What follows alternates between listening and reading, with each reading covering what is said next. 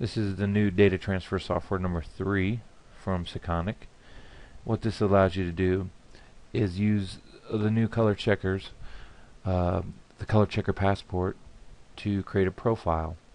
Uh, you can enter custom settings, you can use user settings, and you can update uh, profiles. Every camera and lens sensor combination is different.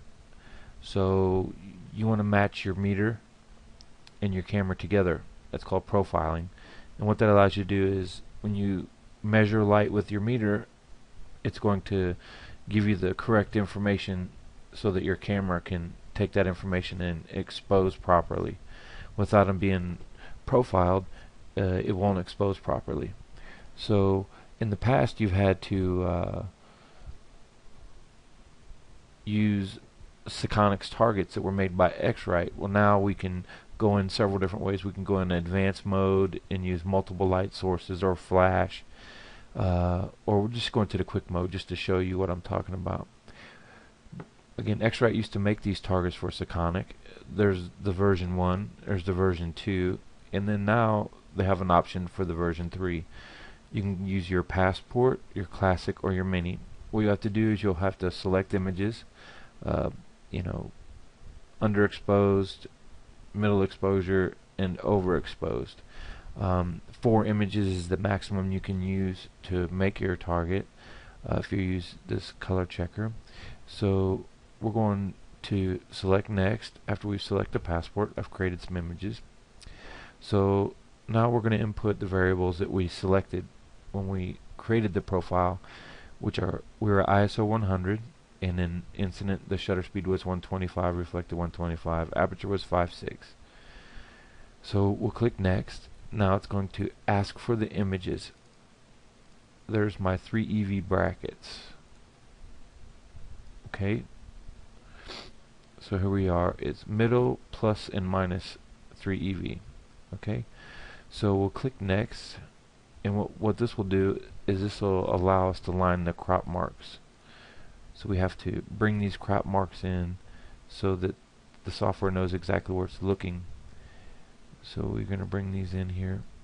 And it, once you get it set up on the first one, it will read the next without a problem. So you just click on it and click on it. So it's got all three. Now we're going to click next and analyze the data. Okay, so here's the curve, and it's showing me my dynamic range and the clipping points. The, the green are clipping points, and the red are dynamic range. You can see down here, clipping point four and a half EVs dynamic range 5.5 okay? So we, we click set save and it's going to ask us for a name. And I'll just type Canon 7D 17 to 55 test. Okay so we click OK and this will save here so now what we could do is we can load it what we do is we plug in our meter and you select the profile and click here and it will upload the profile. You can edit or view the profiles. We're in a single profile, so this will tell you when you do your drop down menu. So you can test, you know, different profiles. So we are set at ISO 100. It's telling, you know, your uh, dynamic range and your clipping points. And you can look at it as a graph. As you can see here, there's a breaks in this curve. So, you know, there were some issues with that, uh, those image captures. I believe. So I need to go in and reshoot them and shoot them in TIFF. Actually, export them in TIFF. I think uh, JPEG had a problem with or something like that. But anyways, I just wanted to show you. You can print them out. Um, you can look at Flash, if you use Flash, or how you uh, use your spot meter. So this is the new software. So instead of having to pay for that expensive target, you can go in and create your own and uh, calibrate your light meter to your camera and lens combination. This is uh, not available for download anywhere. I got my hands on it at NAB. So uh, just to show you what it is, it's version 3.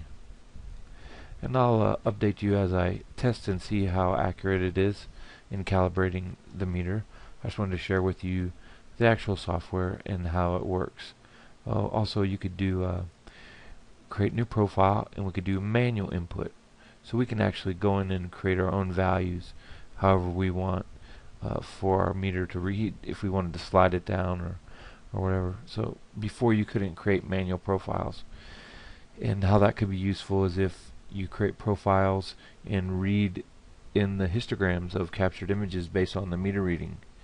Um, you know that could be useful to create a manual profile.